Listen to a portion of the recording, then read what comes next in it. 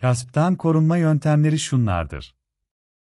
Farkındalık, çevrenizdeki kişiler ve olaylar hakkında farkındalık sahibi olun.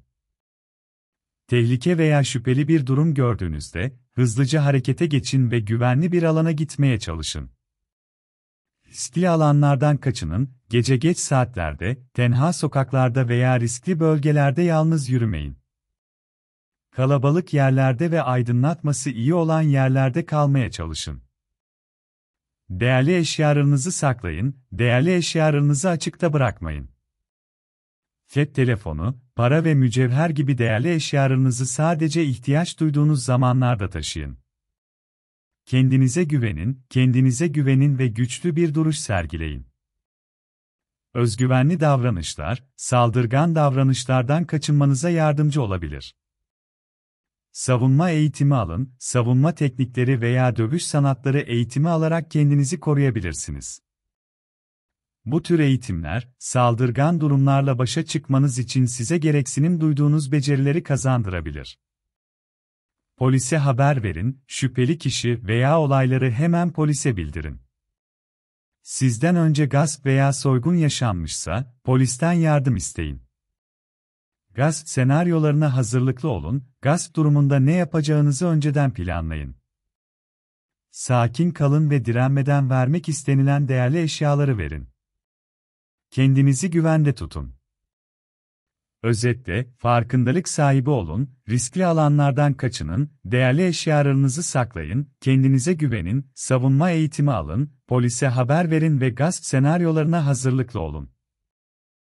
Bu yöntemler, gasp saldırısından korunmanıza yardımcı olabilir.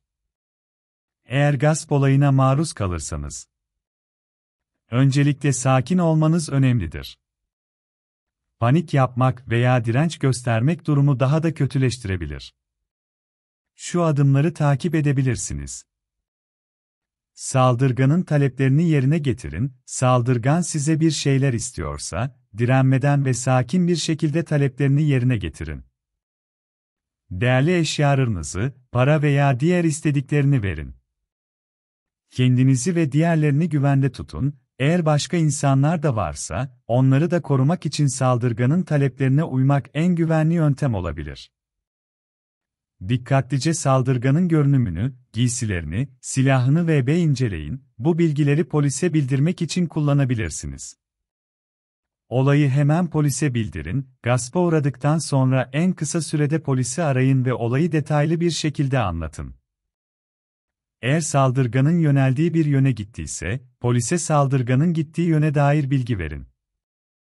Sağlık durumunuzu kontrol edin, gasp sırasında herhangi bir yaralanma veya travma yaşadıysanız, hemen bir sağlık kuruluşuna başvurun. Özetle, gasp olayına maruz kalırsanız sakin olun, saldırganın taleplerine uyun, kendinizi ve diğerlerini güvende tutun, saldırganın bilgilerini hatırlayın, hemen polise haber verin ve sağlık durumunuzu kontrol edin. Bu adımlar, güvende kalmanıza ve saldırganın yakalanmasına yardımcı olabilir.